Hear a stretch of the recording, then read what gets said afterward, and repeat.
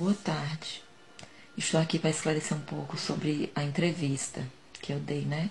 Do qual repercutiu muito. Eu fui muito julgada por causa disso. E estou aqui para falar a verdade, como tudo aconteceu. Eu já estava em um momento frágil, triste, por ter errado né, em subir no palco, ter beijado o cantor Túlio Milionário, do qual eu quero esclarecer aqui. Eu subi de livre e espontânea vontade, beijei também de livre e espontânea vontade. Jamais ele me pegou à força em momento nenhum. E então estou aqui para esclarecer a entrevista.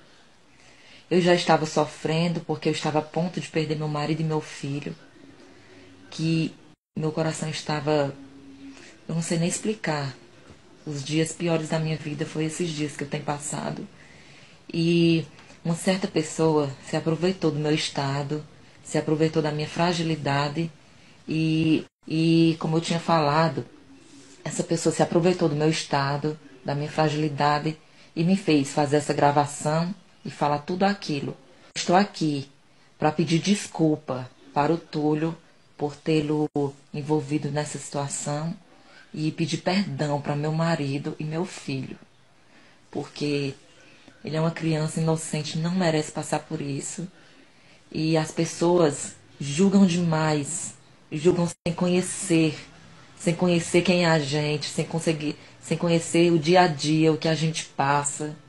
As pessoas não têm amor ao próximo, só sabem criticar e julgar. Porque vocês que criticam e me julgam não se bem. Eu parei e pensei, meu Deus, meu filho não merece isso. Não merece. Eu tá em casa chorando o tempo todo, quase adoecendo, pegando uma depressão. E como meu filho vai ficar nessa situação? Então, hoje eu acordei bem, acordei feliz e tive coragem de enfrentar essa realidade, de falar toda a verdade. E estou aqui abrindo meu coração, de verdade, pois Deus me conhece e, como eu falei, as pessoas que convivem comigo sabem quem sou eu verdadeiramente. E isso que me importa.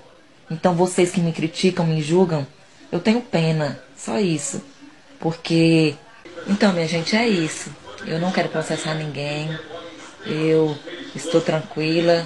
Meu coração estava muito angustiado e agora estou me sentindo bem. Hoje conseguirei dormir tranquila por ter desabafado tudo aqui, a verdade. E desde já agradeço a todos que estiveram do meu lado, me apoiando, amigos, pessoas que eu não conheço e me deram palavras de apoio. Só quero agradecer a Deus por ter me dado essa oportunidade de falar e esclarecer realmente como as coisas aconteceram.